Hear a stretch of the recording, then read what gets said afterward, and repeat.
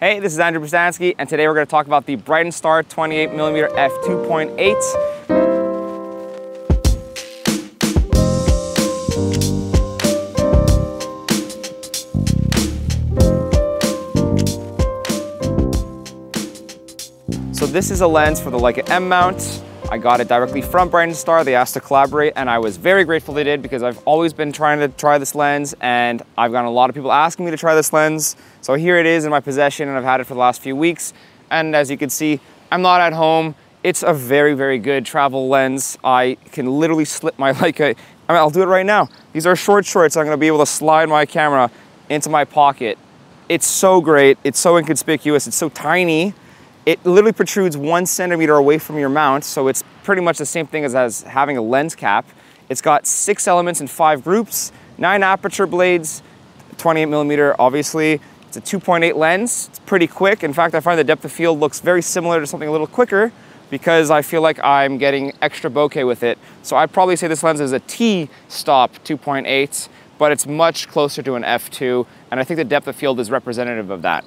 The rendering of this lens is gorgeous, but we're gonna talk about that in a second because as per usual, we gotta talk about the build. It's super tiny, all made of brass, black paint. It matches really well with the Leica black paint. So if you have an MP, M10R black paint, whatever, this thing will look great on it and it feels fantastic. The focus throw is great for such a super small lens. You've got a little tab to focus with. There's really not much going on, on the outside of the lens. You've got a clickless aperture. You've got a 25.5 millimeter UV filter then you've got a massive protruding rear element on the back of this thing. It's, I mean, that's where all the inner workings are.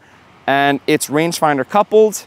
It can stop down, which is crazy. You got nine blades that are pretty damn circular and they're gorgeous look at as you go up and down. I thought when I was focusing, I would have a lot of issues with, you know, stopping it down accidentally, but I actually haven't, which is great.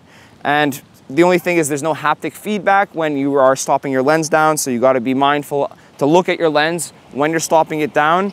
You're, you actually got a distance scale on this lens, which is awesome. It uh, is in meters on the top and feet on the bottom. I do touch the lens, uh, the, the front element quite often, so having a filter is great because you're gonna wind up wiping this lens quite often. Uh, it's just, there's not many compromises here. The optical qualities are gorgeous. The bokeh is actually really pleasing. Uh, the field curvature, curvature is comical. You've got this gooey, glowy bokeh in the middle, and I think the lens actually resembles more of a 20 millimeter f2 in real world use.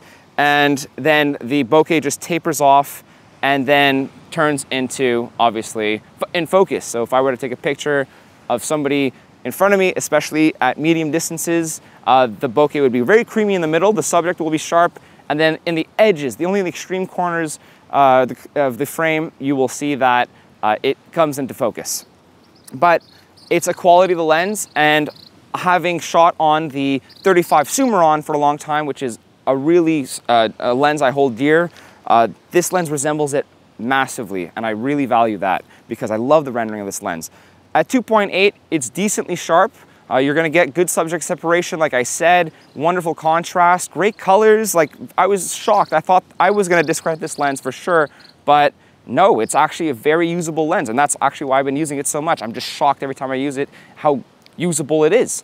Uh, stopping it down to f4, that's where things get really sharp uh, or you know sharp enough, more so.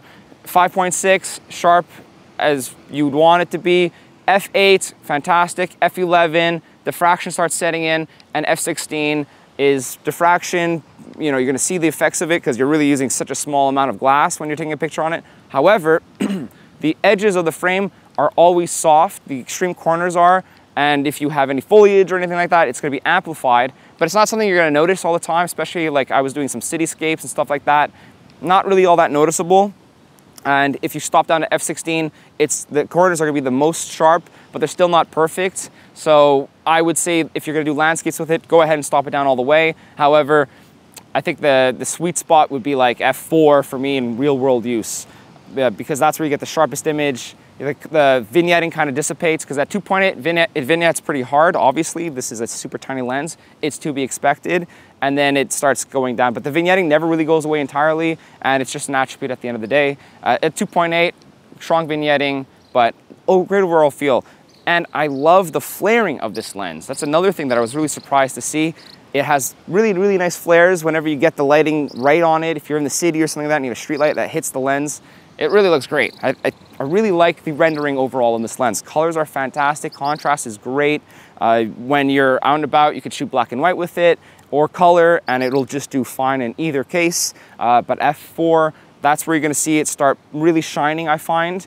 And I, like I said, at 2.8, it's sharp, the bokeh is great, and I actually have a feeling that they designated it as a 2.8 lens because of the T-stop, the amount of light it lets in, but I, I really look at the way it renders. Maybe it's that field curvature or the effect that it gives, but it really looks a lot like it is a f2 lens with regards to its uh, bokeh. Framing with it is easy. You'll never have any finder blockage, of course, because this thing protrudes one centimeter out of the mount. And all in all, it's just a treat to use. If you've been thinking about getting one of these for 360 US, give or take, this is just a fantastic bargain if you ask me. If you're interested, I'll drop some links uh, below and you guys can check them out. I've been really happy with this lens so far. I plan on using it and keeping it for a long time. I'm just enjoying the experience of it all. The portability of it is unparalleled. It only weighs about 125 grams, but it's got mass and heft, and it's just it just pairs so nicely with the Leica M, especially if it's black paint. So thank you for watching. This has been my take on the Brightin Star 28mm f2.8. It's a fantastic everyday lens and if you are considering one of these, I highly recommend it. It's not the most perfect lens out there, but it's great at what it does and I take it everywhere with me because I love the way it renders.